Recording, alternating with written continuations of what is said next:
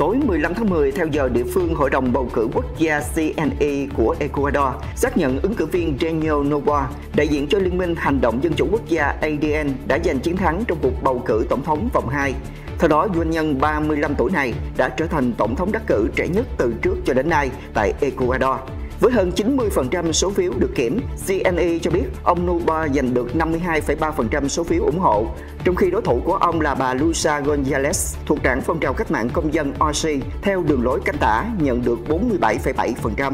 Trong chiến dịch tranh cử, ông Nuba cam kết sẽ tạo thêm việc làm, đặc biệt là dành cho giới trẻ. Giới phân tích cho rằng việc ông Noboa đắc cử có thể là một tín hiệu tích cực với các nhà đầu tư, nhưng về lâu dài triển vọng thị trường vẫn phụ thuộc vào thành phần nội các mà ông sẽ lựa chọn.